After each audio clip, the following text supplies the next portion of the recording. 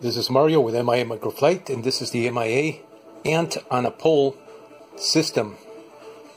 These are the parts that you will need to do a similar setup as the one I've shown here. You have probably seen the setup in some of my recent videos that I've been posting on my YouTube channel.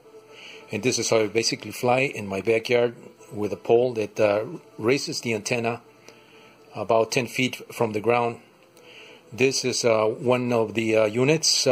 This actually is done in three sections. I use three poles of about three feet uh, to four feet in length. And I use couplers such as this one to couple the poles. Makes the unit very compact, very portable. And this can also be done a little more compact if we reduce the length of the pole and just compress these clamps a little bit closer and make the wires a little bit smaller as well. Basically, this is what you will need. You will need this kit here. And you will also need to provide a 3 quarter inch uh, PVC rigid pipe. You will, of course, need to provide your own uh, receiver. I'm using the RC 832, which what these parts are designed around.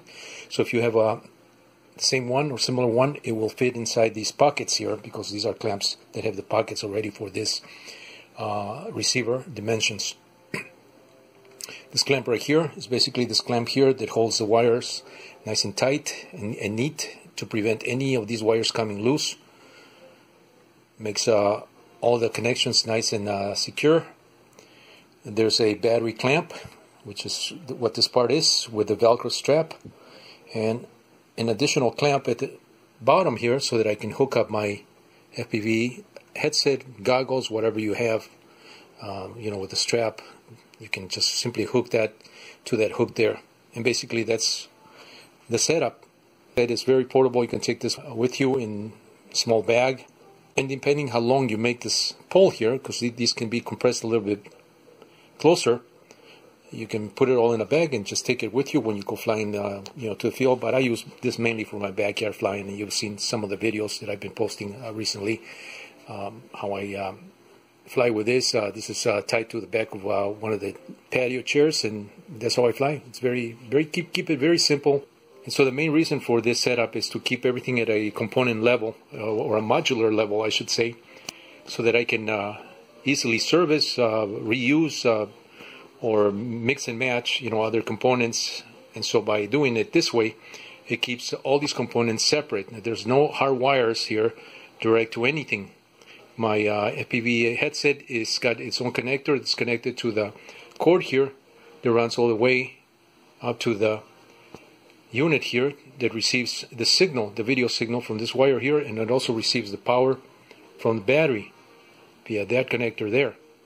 This is a DVR that also receives the power from the battery via a DC to DC 12 volt to 5 volt DC converter which is embedded in this little box here. This is a custom box using a DVR that was meant to uh, mount on a quad, but I repurposed that and decided to put it on, on this unit instead.